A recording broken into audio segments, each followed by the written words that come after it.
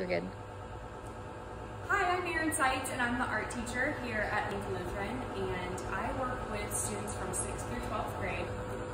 Our middle school students go through rotations of their exploratory classes. So sixth graders just spend one semester with me, and then when they get to seventh and eighth grade, they get to come back for a second semester of art. We explore all different mediums in middle school. I like to give them a taste of different types of art. So we do ceramics, we do painting, we do collage work and mixed media, watercolors, um, just to get their feet wet in all different types of art so that they're ready to make decisions about what type of art they want to take for their requirements in high school. For high school classes, students have requirements for the fine arts. Uh, most kids are pretty excited to come into the art classroom.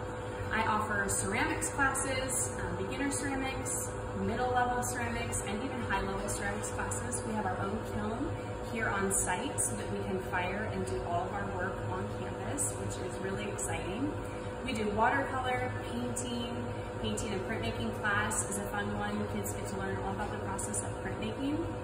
We also have a sculpture class that um, we go through wood making, do wire sculptures, we do tape sculptures. I kind of let the kids tell me um, what they like to work with, what products and materials they like to do, and we have fun making three-dimensional sculptures in that class.